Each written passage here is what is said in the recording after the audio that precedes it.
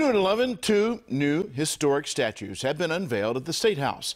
These bronze life-size statues of Frederick Douglass and Harriet Tubman were delivered two weeks ago.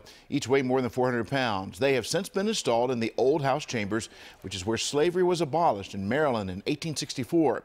At a special ceremony tonight, Governor Hogan says he's honored to dedicate the statues, ensuring the lives and legacies of two of Maryland's most influential leaders are permanently enshrined in our history.